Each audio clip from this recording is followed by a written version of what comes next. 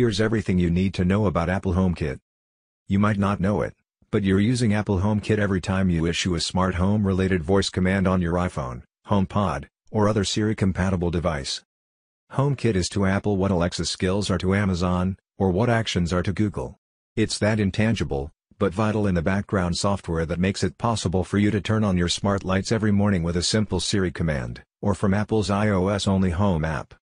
HomeKit software was introduced way back at WWDC 2014, before we had even heard of those now ubiquitous smart speakers called the Amazon Echo and the Google Home.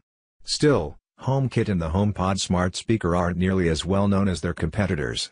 Here's a close-up look at Apple HomeKit, what it is, why it matters and how it fits into the growing smart home landscape.